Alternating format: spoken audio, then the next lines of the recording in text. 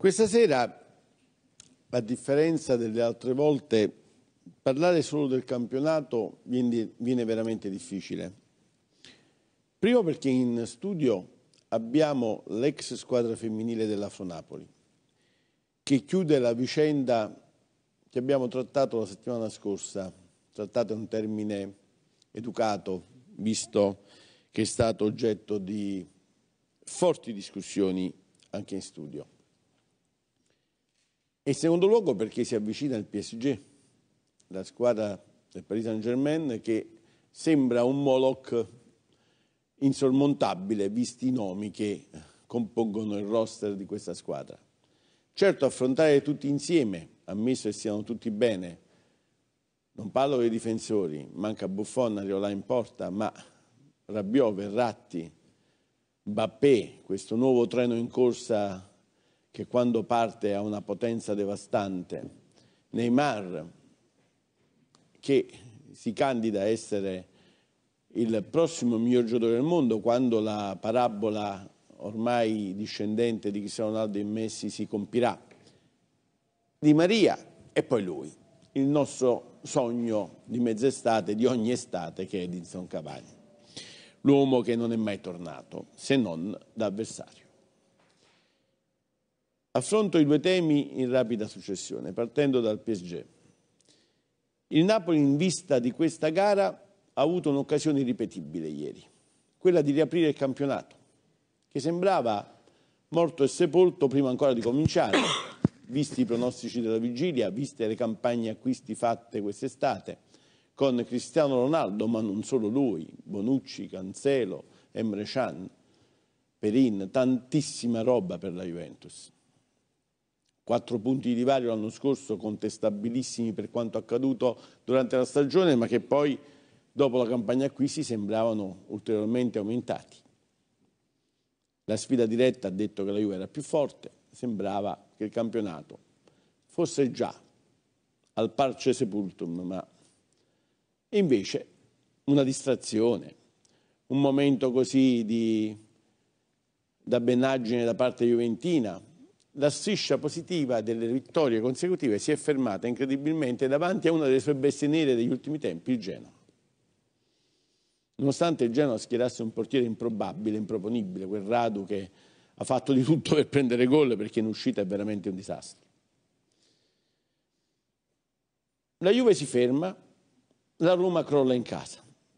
Il Napoli ha la testa a Parigi, ma deve onorare il campionato. Cosa fa Carlo Ancelotti?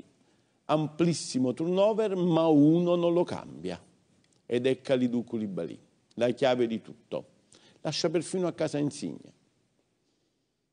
La fortuna lo aiuta perché l'infortunio di Verdi gli fa mettere in campo Fabian Ruiz che fa subito gol e il Napoli ieri conferma due cose non proprio positive in una situazione invece di grande positività generale. Quali sono le cose, se vogliamo guardarle in controluce, non positive? Che il Napoli non chiude le gare, non chiude le partite, così come col Sassuolo, 5 palle gol, qualcuna clamorosa, colpo di testa di, Zielischi, eh, di Milik, Zielischi davanti al portiere di Piatto che mette fuori, due volte Cagliecon, Mertens con una serpentina in mezzo a due che tira a giro e non trova la porta. Il gol di Fabian Ruiz non trova la replica e il Napoli soffre per quasi 50 minuti finché un rigore che non tutti pensano sia sacrosanto perché il fallo di mano del difensore udinese era molto ravvicinato, c'è chi come l'ex arbitro Marelli ritiene che quello non sia rigore, per me quello è un rigore solare e sacrosanto, il fuorigioco di Marquis non c'è, quindi per me quello è il rigore ed è un gol regolare quello di Mertens che chiude poi la partita, perfino Rog entra invece che farsi ammonire, udite udite segna. Ebbene, 3-0, ma per la seconda volta consecutiva il portiere del Napoli di turno, primo Spina e ora eh, Carnezis, massacrato ingiustamente alla sua prima apparizione in un'amichevole estiva con, con Liverpool, oggi porta fortuna assoluto, quattro partite e quattro vittorie, meglio di così non si può. Da Zon e Carnezis insieme sono un colpo di fortuna straordinario per il Napoli. Fatto sta che Carnezis ha messo le mani sul risultato in maniera importante, mostrando che il Napoli non ha un portiere, ne ha tre perché Meret vedrete che portiere è. Mi auguro davvero che lo dimostri dall'Empoli in poi. E insomma il Napoli ieri ha mostrato una cosa importantissima, la mentalità, quella giusta. Il leader calmo ha saputo per la quinta volta far partire a razzo i suoi ragazzi. È occasione da, non perdere, giocano altri uomini, si cambia continuamente formazione, 11 su 11, pronti via, si va a far gol. Questo Napoli ha detto che nel campionato ci sarà e c'è e che se la Juve frena un tantino, la lotta non è affatto chiusa. Seppur di palle gol ne ha subite troppe, anche ieri, seppur non chiude le partite con la mentalità cinica e bara che dovrebbe avere la grandissima squadra. A Parigi credo che rivedremo il Napoli in opposizione Liverpool, cioè quello con Maximovic dietro e con Koulibaly dedicato verso, verso Mbappé, perché quel treno in corsa si ferma solo con un carro armato altrettanto forte. È la partita delle partite, diciamocelo chiaro. Il Napoli ha finora fatto 10 partite, 8 vittorie e 2 sconfitte. L'undicesima è quella di Belgrado, quel pareggio che può valere il girone. E quindi da, da Belgrado in poi, se si vuole passare il turno, bisogna fare solo miracoli. Andare a fare risultato a Parigi e batterlo poi in casa il PSG significa fare miracoli, così come è stato fatto con Liverpool nella cosiddetta partita perfetta. Attendiamo quindi, vi dico già che la formazione stavolta sarà prevedibile, dubbi pochissimi. Ospina, penso Maximovic, Albiol, Colibali e Mario Rui, con questa L dei tre difensori Mario Rui alto, Alan Amsic, che il capitano quando poi entra in campo dimostra che ha motivo di essere il capitano anche ieri ha dimostrato che quando c'è lui il Napoli è cosa diversa. Callecon,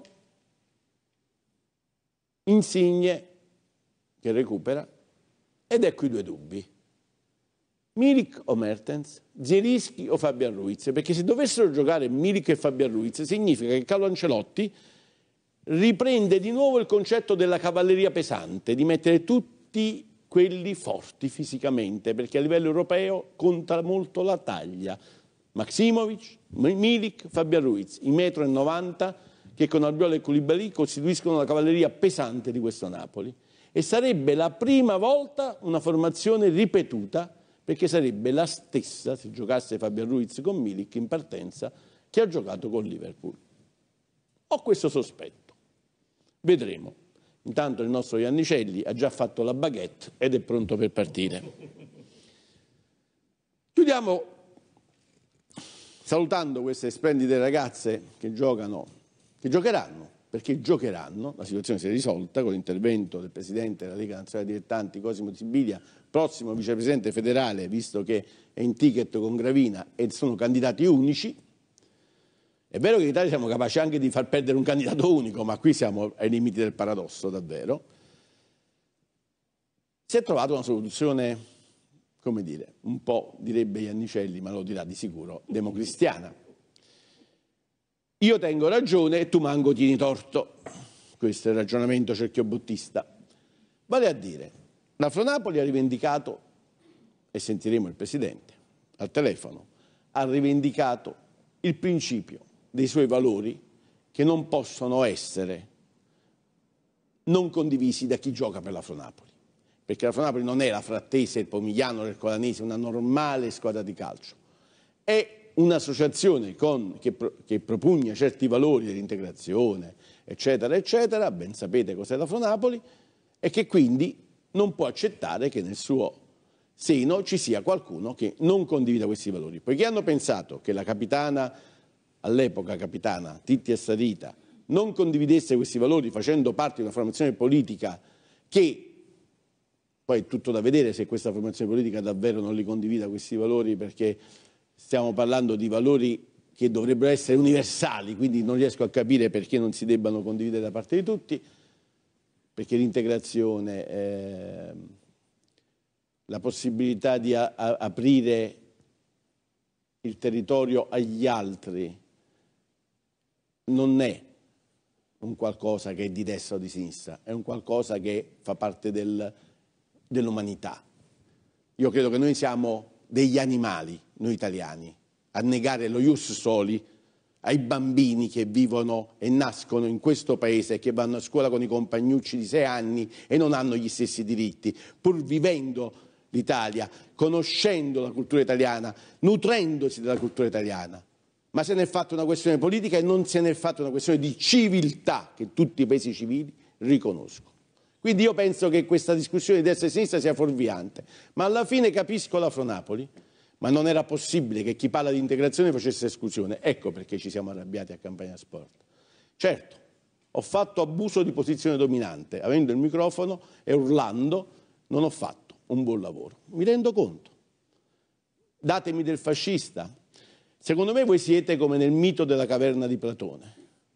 Siete come quei prigionieri che guardano il muro davanti, col fuoco alle spalle e la gente che passa e credete che la realtà sia quella trasfigurata della caverna che proietta le immagini della gente di fuori.